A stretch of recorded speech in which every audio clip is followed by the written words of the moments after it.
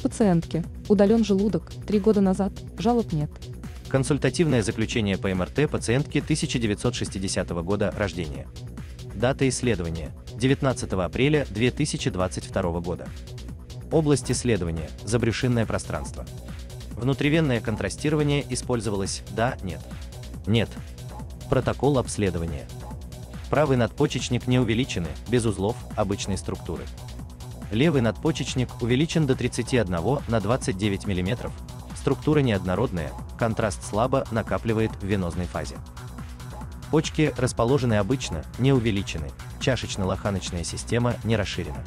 Кортикомедулярное различие прослеживается. Киста в паренхиме правой почки 8 мм. Патологические инфильтраты и увеличенные лимфатические узлы в брюшной полости и забрюшенном пространстве на уровне обследования не выявлены. Асцита нет. Деструктивные изменения в позвонках в зоне сканирования не определяются. Заключение.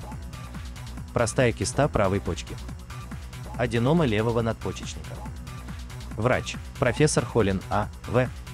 Заведующий кафедрой лучевой диагностики СГМУ им. И. И. Мечникова. Вопрос пациентки. У меня несколько вопросов по заключению МРТ.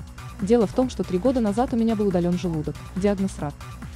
Каждые три месяца с того момента я прохожу МРТ брюшной полости. Согласно последнему заключению от 19 апреля у меня выявлено объемное патологическое образование неоднородной структуры с неровным контурами с ограничением диффузии размером 3,8 на 2 см 7 мм. В этом заключении еще указано, что лимфатические узлы визуализируются увеличенные проартальные и брыжеечные до 2,1 на 1 см 5 мм. По окончательному заключению объемное патологическое образование левого надпочечника – это рецидив моего заболевания, а увеличение лимфоузлов вторичного характера – это метастазы.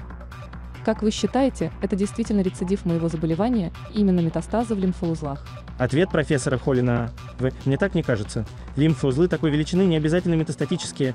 Образование надпочечника по виду и типу контрастирования не очень похоже на метастаз, больше на аденому. Вопрос пациентки. Могли бы вы спросить профессора Халина А. В.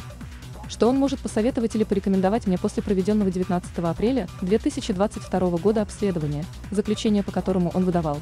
Может нужно сделать ПЭТ-КТ или КТ надпочечников? Ответ профессора Холина А.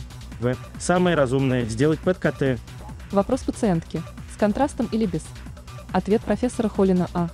В. ПЭТ – это изотопное исследование. Контраст тут не нужен. КТ с ПЭТ делается только для уточнения зоны.